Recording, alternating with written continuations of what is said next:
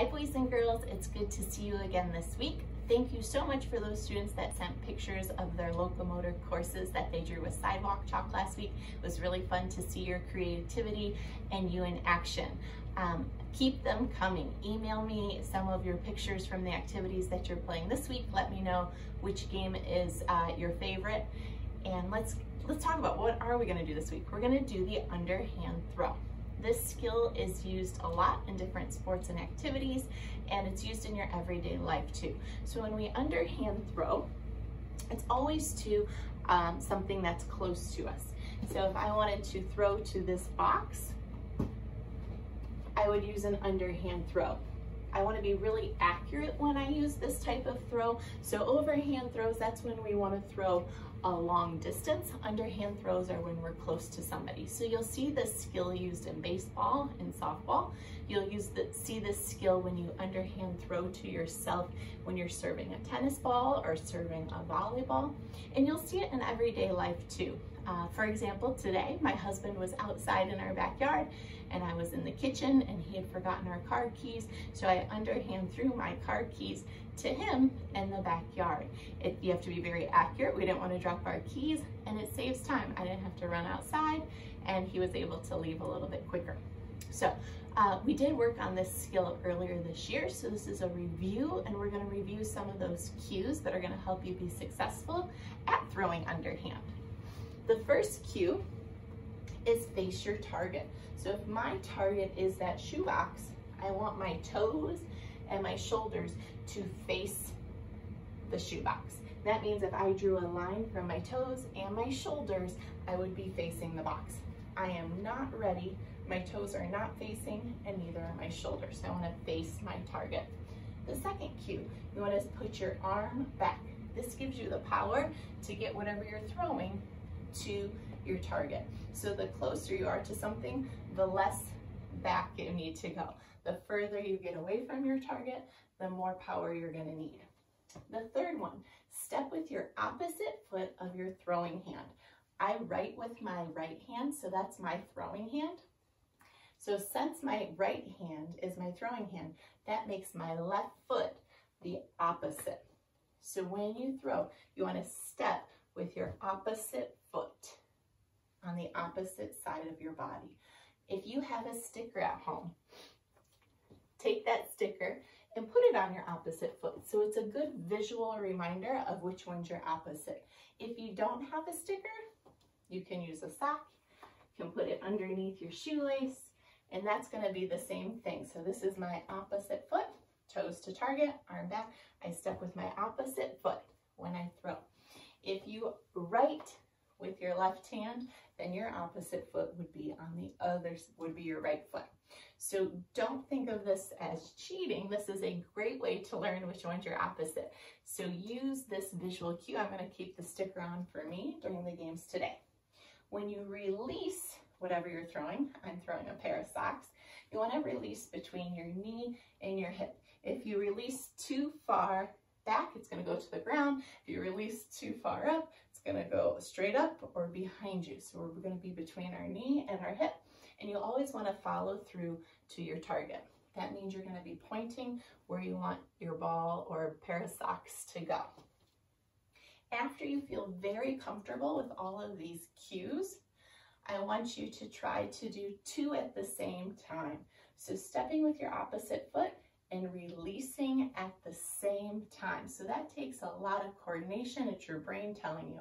So when you're doing them at the same time, toes to target, arm goes back, and then you're gonna step and throw at the same time instead of having it two different steps, trying to do it at the same time. So toes to target, arm back, I step and release, and then I follow through to my target. We're gonna get started with three different games. All you're gonna need, you can have um, some sort of marker. That's something uh, like stuffed animals would do, just letting you know different spots to throw from. You'll need uh, something to throw. So I'm gonna use a pair of balled up socks. If you have a soft squishy ball that won't hurt anything inside, or um, what else? You can use a pair of socks. I just went blank, sorry guys. Uh, anything that your mom and dad say is okay to throw inside, or if you're outside and you have a ball or something else, or you can bring your pair of socks outside, that works too.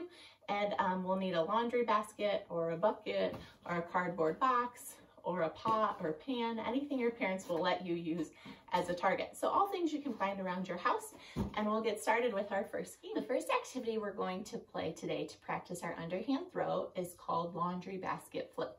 You need two things to use as markers. I'm gonna use my daughter's slippers. I have an object to throw, a pair of balled up socks, and I have a laundry basket. If you don't have a laundry basket, you can use something like a shoebox, or a pot or a pan or a bucket, anything you have that you can underhand throw something into.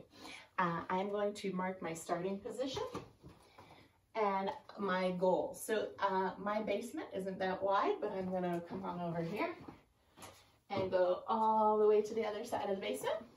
If you can go outside, you'll have a farther uh, area to challenge yourself of greater distance than inside your home, but inside works too. So I'm going to start with my basket very close to my target. I'm practicing all of my cues every time.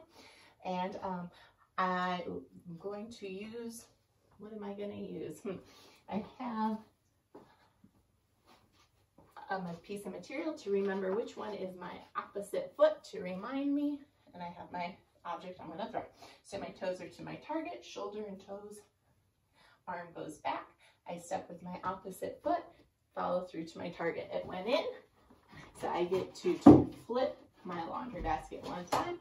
I'm gonna run back to my starting position, following all of my cues. I got it in, so I'm gonna flip my laundry basket, run back to my starting position. If I miss, no big deal. I run and get my socks and run back to see how long it takes you to reach your goal.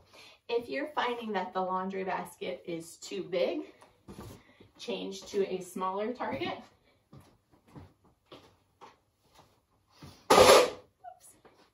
And you can do the same thing. You can flip, see how far you can get. All right. To make it more difficult, make your target smaller, increase your distance. To make it easier, have a bigger target and be a little bit closer. Good luck and have fun. The next underhand throw game we're going to play is called Make It, Take It. For this game, the setup, you need one target, and that's going to be the brown shoebox for me, and you'll need a bunch of different spots. The spots for me, the markers are my stuffed animals, and they are placed at different distances and different directions from the target and you will need one object to throw. So I'm going to use my balled up socks. You can use anything uh, that you have at your house. That's all you need for the setup. Now that I have make it, take it all set up, I'm ready to play. I'm going to start in a starting position. So my starting position is going to be the bottom step of my stair.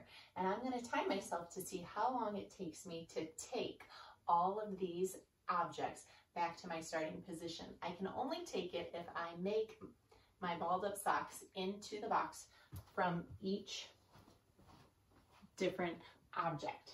The further the object, the further the stuffed animal oh, is away from the target, the harder it's gonna be. So this will be a really hard one. This one would be a little bit easier because I'm closer to my target. So when I push start on my timer, I'm gonna run to the first one. I'm gonna try Pluto, toes to target, arm goes back. I step and throw. Since I made it, I get to take Pluto back to my starting position and I put it over here. And now I'm gonna challenge myself. I'm gonna go all the way back here to the blue elephant, toes to target, arm goes back. I step and throw, made it. So I get to take it back to my starting position. If I miss, go to Daniel Tiger. If I miss, no big deal. I just don't take it. I still have to go back to my starting position and getting some good exercise and I can go right back to Daniel Tiger or I can try a new object. You want to see how long it takes you to clear all of the objects. Now, if you have somebody at home that's able to play with you, it might be fun to have a little bit of a competition. So a brother or sister or a parent that's not busy, you guys can have different starting spots And then when you say go, see who can collect the most objects. Um, remember the whole time, these cues, face your target, arm back, step with your opposite foot of your throwing hand, uh, make sure you're following through to your target. That's gonna help you be really successful. So have fun, give it a try. Another game we can play this week to work on our underhand throw is called Off the Wall. You're gonna use your balled up socks to try to hit different targets on your wall. Make sure you ask your parents for permission before you play this game. You wanna make sure it's a wall where you don't have any picture frames or decorations or that the wall's not too close to a lamp or a drinking glass where we could have an accident. Once they give you permission, then you can suggest using sticky notes or painter's tape, things that you can put on the wall that won't ruin the paint. They come off and come right back on. So uh, you won't have any mishaps with that.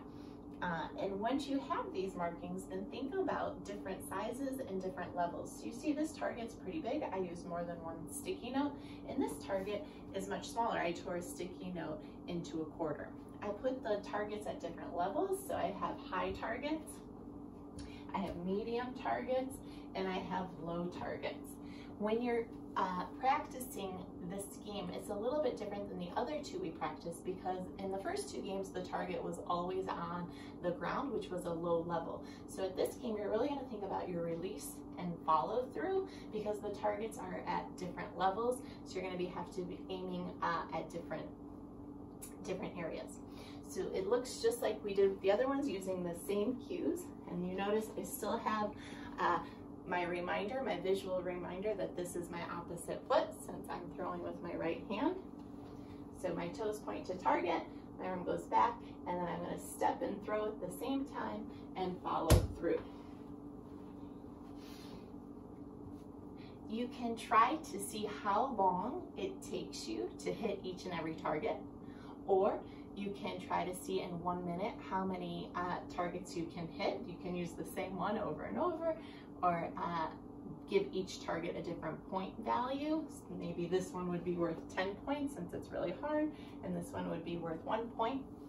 Or you don't have to keep points or time at all. You can just have fun and practice your underhand throw.